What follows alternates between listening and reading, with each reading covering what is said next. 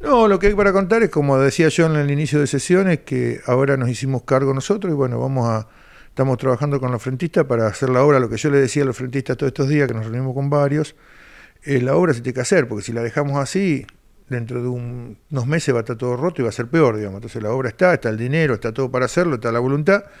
Tenemos que dejar buscar la mejor manera para hacerlo. Lamentablemente se nos mezcla con la obra una recesión importante que hay en Argentina, que uno no sabe si eh, digamos, el frentista no sabe si echarle la culpa a la recesión o a que la calle es peatonal o que el auto circula más despacio, o sea, toda una mezcla de cosas que son, que si te ponen a analizarla no lo podés ni criticar, digamos, una cuestión verdadera, una cuestión de atención al, al vecino, entonces venimos charlando para que salga todo bien, ayer tuvimos una muy buena charla, incluso entre los frentistas, según en la cuadra que estén, tienen distintas posiciones de cómo tiene que ser la obra, entonces estamos trabajando eso para que todos nos pongamos de acuerdo cómo tiene que serla y empezarla mañana mismo. ¿no? más allá de las observaciones respecto de la obra concretamente, también hay como una expresión de eh, el sentimiento de no haber sido escuchados de los, de los frentistas. No, eso no es cierto, lo escuchamos todas las veces que estuvo, eh, hicimos miles de reuniones. Eh, pero bueno, la verdad que entiendo su posición, creo, te decía recién, incluso cuando los escucho, hay una mezcla de un montón de cosas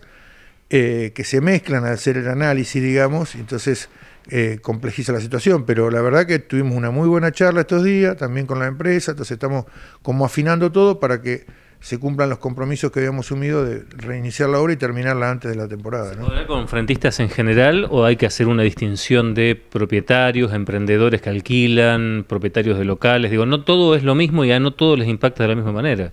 Y no, bueno, al que más le impacta es el que está en el comercio, alquile o sea propietario. Al que más le impacta el que está todo el día ahí, por eso yo los escucho igual, digamos, no no me puedo poner a hacer esa distinción. Obviamente al propietario, hay, propietarios que tienen muchos locales, hay, digamos, los locales de la mitad tienen la propiedad de que eh, poca gente tiene muchos locales, entre galerías, todo.